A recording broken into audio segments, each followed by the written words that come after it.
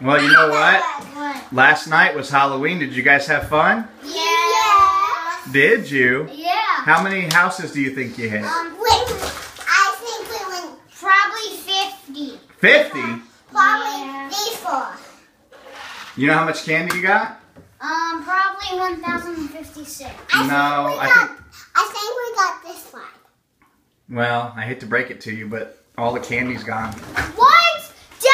Daddy! You know what happened? What? We Mommy and Daddy? all day when you were all up. Mommy and Daddy, while you guys slept last night, we ate all the candy. Are you serious? Yeah, we stayed up. I don't care if you ate it. I wanted candy in the morning. I did not believe you did that. You should be ashamed of yourself. Wait, wait, I don't care. I Sit down, you're naked. Listen, are you guys okay with that? No. Why not? Of what?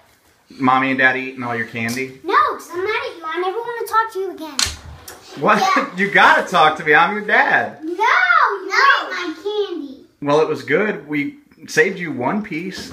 I hope you got the red stuff in your neck, and I hope you got the belly ache. Oh, well, it was good. It's worth the bellyache. What about you, girl? A, lo- I love a you. lot No of in her candy left. stomach. And, and we work for that harder than you And guess what?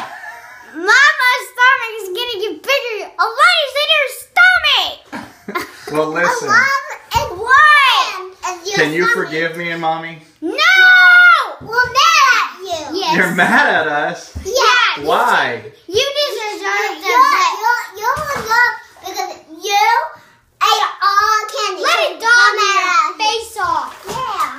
Jimmy Kimmel told me to do it.